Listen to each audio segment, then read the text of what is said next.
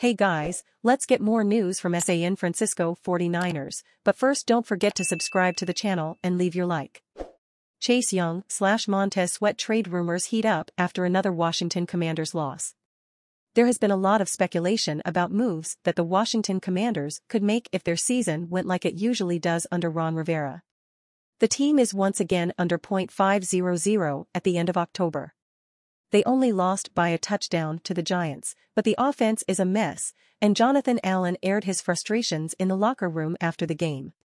With new ownership evaluating the entire franchise, this is likely Rivera's last season barring a massive turnaround, starting with a win over the 6-1 Eagles on Sunday. The NFL's trade deadline is October 31st, and there has been a lot of reports and speculation about Washington starting DEs, Chase Young and Montez Sweat, and their possible availability via trade. Both players are set to be free agents next March. Sweat is playing on his 5-year option and Young had his declined earlier in the year.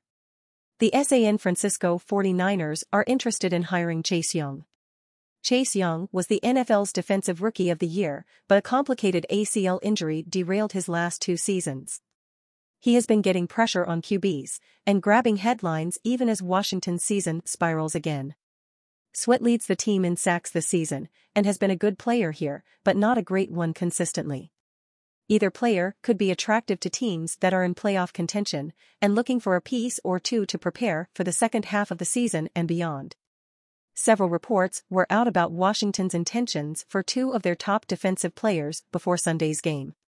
If they beat the Giants and had a 4-3 record going home to face a Philly team they went to overtime with a month ago, Rivera or new ownership would be less likely to trade off any players that could help them now.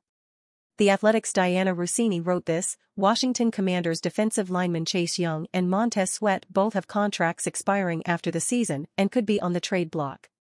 And you fan, what do you think of the Chase Young situation? Leave your opinion in the comments.